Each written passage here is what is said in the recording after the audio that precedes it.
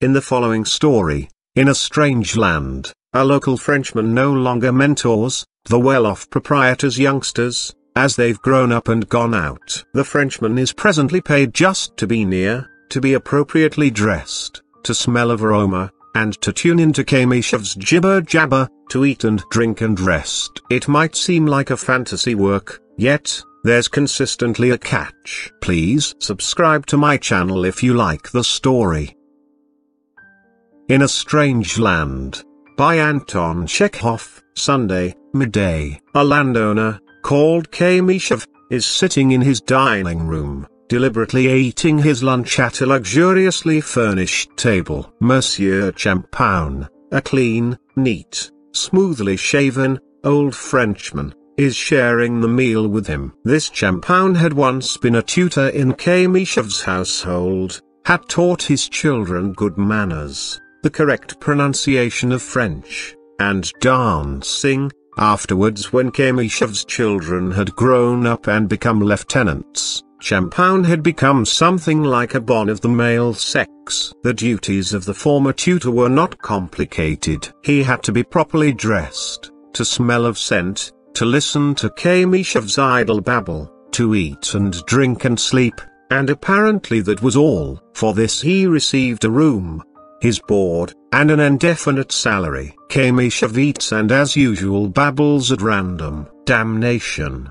he says, wiping away the tears that have come into his eyes after a mouthful of ham thickly smeared with mustard. Off, it has shot into my head and all my joints. Your French mustard would not do that, you know, if you ate the whole potful. Some like the French, some prefer the Russian. Champoun assents mildly. No one likes French mustard except Frenchmen, and a Frenchman will eat anything, whatever you give him, frogs and rats and black beetles. You don't like that ham, for instance, because it is Russian, but if one were to give you a bit of baked glass and tell you it was French, you would eat it and smack your lips. To your thinking everything Russian is nasty. I don't say that. Everything Russian is nasty. But if it's French, oh say trésoli. To your thinking there is no country better than France. But to my mind why, what is France? To tell the truth about it, a little bit of land. Our police captain was sent out there, but in a month he asked to be transferred, there was nowhere to turn round. One can drive round the whole of your France in one day, while here when you drive out of the gate, you can see no end to the land. You can ride on and on. Yes, monsieur, Russia is an immense country. To be sure it is. To your thinking there are no better people than the French. Well educated, clever people. Civilization. I agree, the French are all well educated with elegant manners. That is true. A Frenchman never allows himself to be rude. He hands a lady a chair at the right minute, he doesn't eat crayfish with his fork, he doesn't spit on the floor. But there's not the same spirit in him. Not the spirit in him. I don't know how to explain it to you but, however one is to express it, there's nothing in a Frenchman of something, the speaker flourishes his fingers, of something fanatical. I remember I have read somewhere that all of you have intelligence acquired from books, while we Russians have innate intelligence. If a Russian studies the sciences properly, None of your French professors is a match for him. Perhaps, says Champoun, as it were reluctantly. No, not perhaps, but certainly. It's no use your frowning, it's the truth I am speaking. The Russian intelligence is an inventive intelligence, only of course he is not given a free outlet for it, and he is no hand at boasting. He will invent something, and break it or give it to the children to play with, while your Frenchman will invent some nonsensical thing and make an uproar for all the world to hear it. The other day Iona the coachman carved a little man out of wood.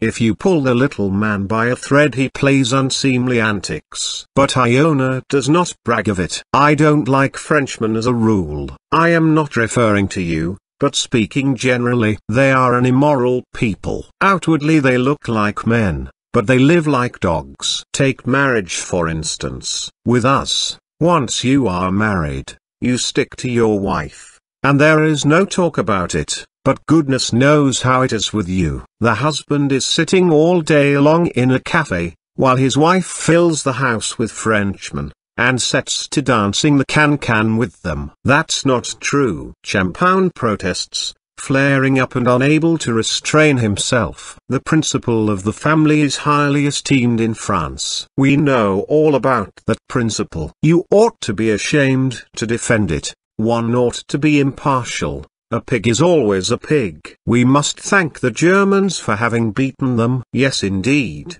God bless them for it. In that case, monsieur, I don't understand, says the Frenchman leaping up with flashing eyes, if you hate the French why do you keep me? What am I to do with you? Let me go, and I will go back to France. What? But do you suppose they would let you into France now? Why, you are a traitor to your country. At one time Napoleon's your great man, at another Gambetta. Who the devil can make you out, monsieur? Says Champagne in French, spluttering and crushing up his table napkin in his hands. My worst enemy could not have thought of a greater insult than the outrage you have just done to my feelings. All is over. And with a tragic wave of his arm the Frenchman flings his dinner napkin on the table majestically, and walks out of the room with dignity. Three hours later the table is laid again, and the servants bring in the dinner. Kamyshev sits alone at the table. After the preliminary glass he feels a craving to babble. He wants to chatter,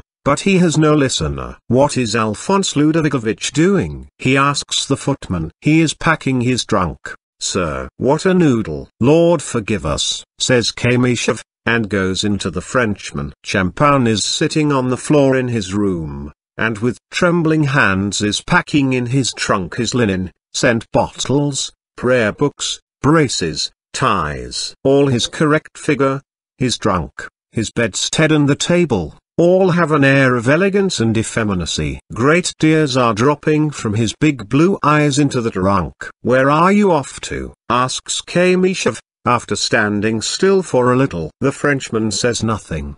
Do you want to go away? Kamyshev goes on. Well, you know, but I won't venture to detain you. But what is queer is, how are you going to travel without a passport? I wonder. You know I have lost your passport. I thrust it in somewhere between some papers, and it is lost. And they are strict about passports among us. Before you have gone three or four miles they pounce upon you. Champagne raises his head and looks mistrustfully at Kamyshev. Yes, you will see. They will see from your face you haven't a passport, and ask at once, who is that? Alphonse Champagne. We know that Alphonse Champagne. Wouldn't you like to go under police escort somewhere nearer home? Are you joking? What motive have I for joking? Why should I? Only mind now, it's a compact. Don't you begin whining then and writing letters. I won't stir a finger when they lead you by in fetters. Champagne jumps up and, pale and wide-eyed, begins pacing up and down the room. What are you doing to me? He says in despair, clutching at his head. My God, Accursed be that hour when the fatal thought of leaving my country entered my head. Come, I was joking, says Kamyshev in a lower tone. Queer fish he is, he doesn't understand a joke. One can't say a word. My dear friend, shrieks Champagne, reassured by Kamyshev's tone. I swear I am devoted to Russia to you and your children. To leave you is as bitter to me as death itself. But every word you utter stabs me to the heart. Ah, you queer fish. If I do abuse the French, what reason have you to take offense? You are a queer fish really. You should follow the example of Lazar Isakich,